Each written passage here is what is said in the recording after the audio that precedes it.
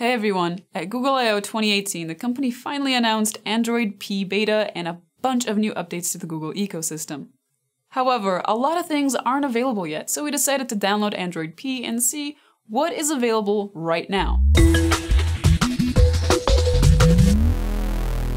If you have any of the devices listed on screen right now, you can also download it and mess around with it. The phone that we chose was the Google Pixel 2 XL.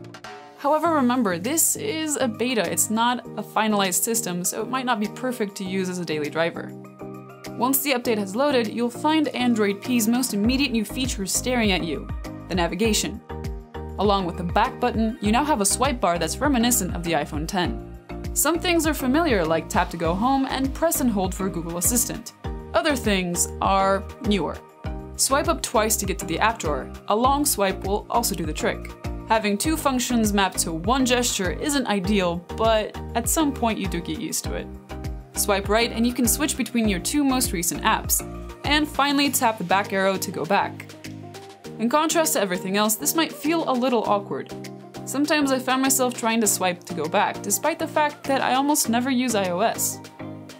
Other than that, Google has refined its design language even more, and it's made everything rounder.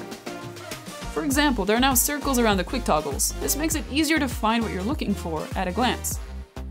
In the settings menu, you also have different colors for different settings.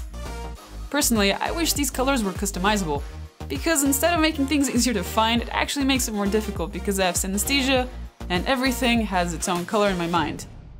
Thankfully, the newly announced material theming could fix that in the long run.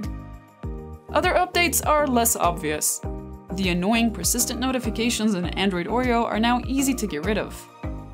In the battery settings, you can find a new adaptive battery option which limits the battery for apps you don't use often. Some updates are entirely under the hood, like adaptive brightness, which better tracks ambient light in your environment and your particular activity and location in order to intelligently change the screen brightness.